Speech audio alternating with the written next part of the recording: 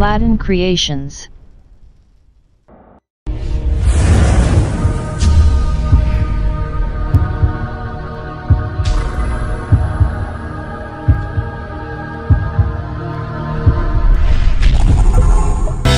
How to calculate corrected WBC count. Nucleated red blood cells are the precursors to normal red blood cells and look very similar to WBCs.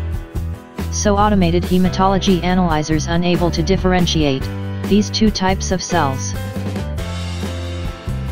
So when you conduct a WBC count using automated analyzer, you actually receive a total WBC count that includes both white blood cells and nucleated red blood cells. If the number of nucleated red blood cells are greater than 5 per 100 white blood cells, you need to calculate the corrected WBC count.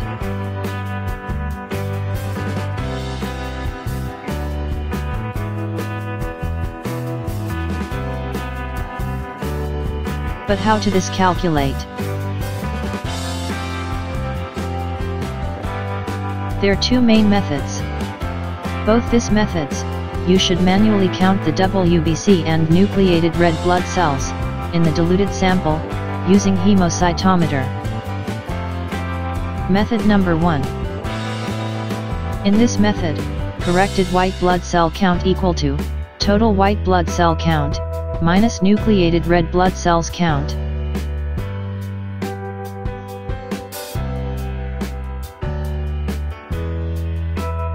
So in this case we should count, number of nucleated red blood cells per 100 of white blood cell count plus nucleated red blood cells. Just imagine we have following values,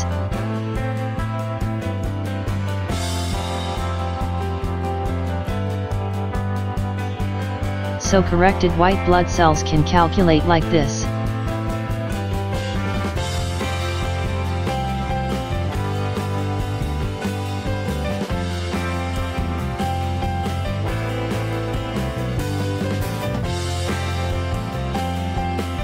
This method recommended by Dacie and Lewis Practical Hematology Textbook. Method number 2. This method is very easy than previous method.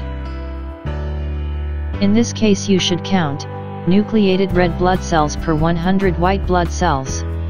Just imagine we have following values.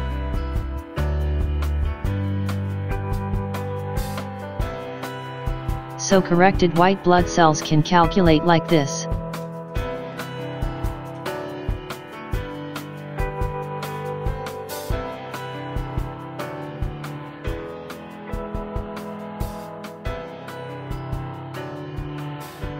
For more videos please subscribe my channel. And if you like design this like video for you contact me.